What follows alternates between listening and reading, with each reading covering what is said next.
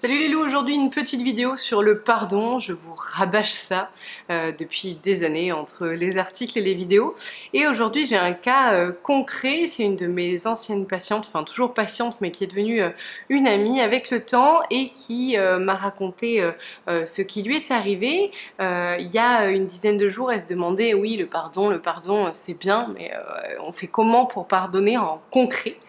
Et en fait, euh, je vous transmets son expérience. Je lui ai bien sûr demandé avant si je pouvais parler de son cas précis. Euh, du coup, son mari l'a trompée. Ça fait une vingtaine d'années qu'elle est euh, avec son mari. il l'a trompée sur 4 ans d'affilée. Donc, grosse, grosse trahison.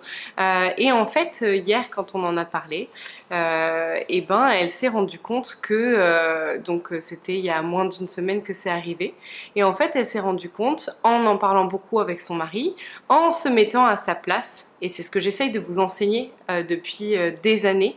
Et euh, elle me disait elle-même qu'elle avait beau écouter les vidéos avant que ça arrive, elle se disait non mais moi le jour où ça arrive, jamais je pardonnerai.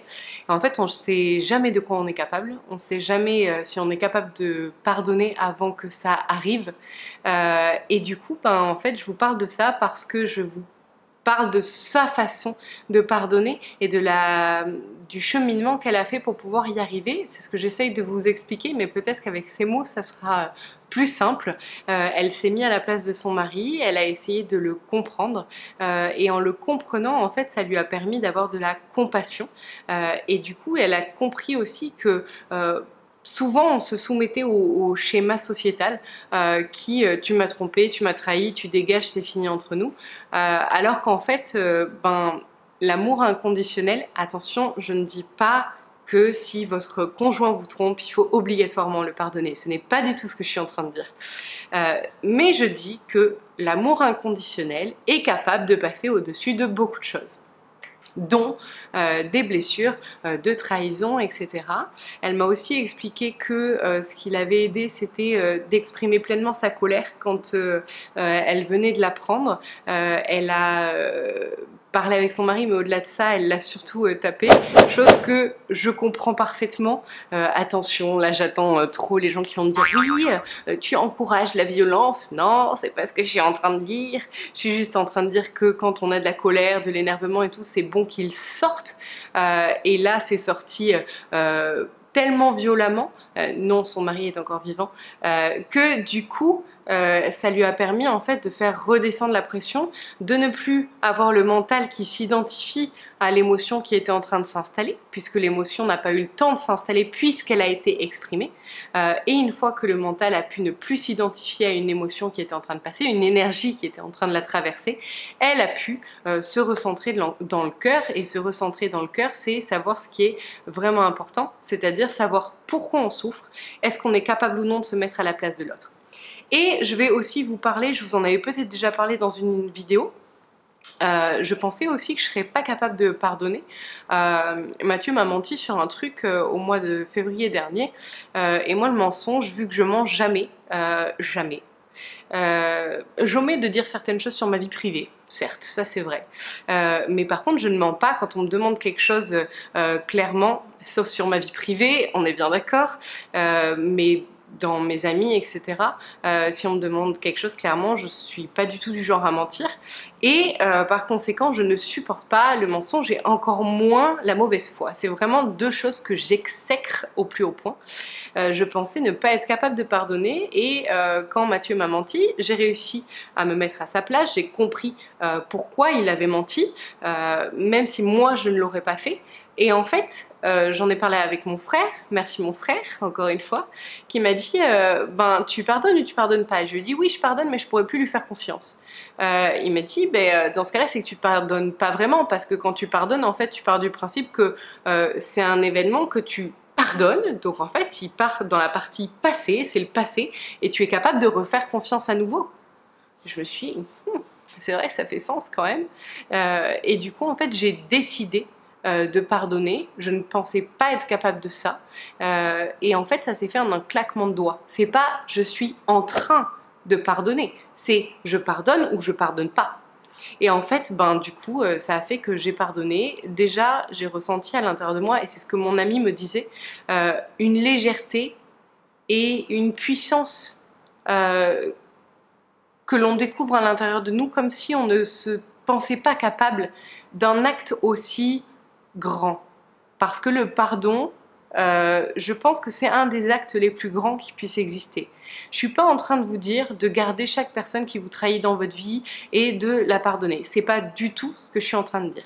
Je suis en train de vous dire est-ce que dans votre relation, euh, dans votre situation, est-ce que ça vaut le coup pour cette personne de la pardonner. Après, il y a des gens qu'on pardonne et pour autant, on n'a pas du tout envie de les garder dans notre vie parce qu'on sait qu'ils vont recommencer encore et encore. Et c'est là la différence. Il y a des gens qu'on va pardonner et on sait que ça aura servi de leçon autant à l'autre pour apprendre qu'il peut être pardonné même quand il a merdé, et autant nous, ça va nous apprendre qu'on est capable de pardonner euh, malgré la grosse trahison, malgré le mensonge, etc. Du coup, euh, je me suis sentie, et mon amie s'est sentie extrêmement légère et a compris a découvert une puissance intérieure qu'elle ne soupçonnait pas. Ça a été la même chose pour moi. Euh, être capable de vraiment pardonner. Et quand euh, je vous dis que j'ai vraiment pardonné et que elle, elle a vraiment pardonné, c'est qu'elle me disait, moi demain, euh, il repart à l'étranger, bah, je ne serais pas flippée en me disant il va me retromper. Tout comme Mathieu referait revivrait la situation qu'il a vécue et donc se ramener à me rementir, bah, je pense pas qu'il me rementirait. Et c'est pour ça que euh, je lui ai pardonné parce que je pense et je voyais euh, la sincérité à l'intérieur de lui, dans ses yeux, et c'est pour ça que j'ai choisi de pardonner. Le pardon, c'est pas quelque chose qu'on donne parce qu'on a envie d'être grand, parce qu'on a envie d'accomplir quelque chose de grand. C'est un duo. On donne son pardon quand on voit que en face, le pardon va être pris, va être accepté et va surtout être euh, compris comme acte d'amour ultime. Pour ma part, je continue de pardonner, euh, par exemple, dans d'autres situations, euh, une personne en particulier qui vient me titiller régulièrement. Je pardonne à chaque euh, fois, mais c'est pas pour autant que je vais reprendre cette personne dans ma vie, parce que je sais que c'est quelqu'un qui ment.